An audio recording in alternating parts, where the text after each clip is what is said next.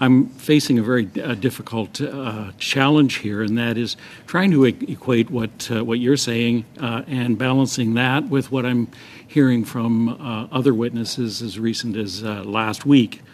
I'm sure you're aware of Dr. Najma Ahmed and her testimony. She's indicated that gun injury and death is an urgent public issue. She also indicated that the Canadian Medical Association declares firearms related injuries and fatalities as a major cause of premature and preventable death. Do you agree with the Canadian Medical Association with that statement? Uh, yeah, of course. Fire, firearms injuries are a serious uh, issue. What we're talking about today is legislation, and I've done research on that.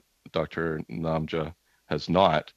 And uh, this is what the evidence shows. I can only bring you what the evidence shows. What you're saying is, is that the existing legislation hasn't been as effective as we would like it to be for the outcomes. And so that would lead me to conclude that what we should be doing is considering the provisions of Bill C 21 to enhance and strengthen the safety measures that we're trying to create. And like I said, in, in the 1990s, over 550,000 firearms were banned, which includes handguns. Australia also banned handguns, essentially restricting them to people like Olympic uh, sports uh, trainees. And there's been no reduction in firearms homicide from that.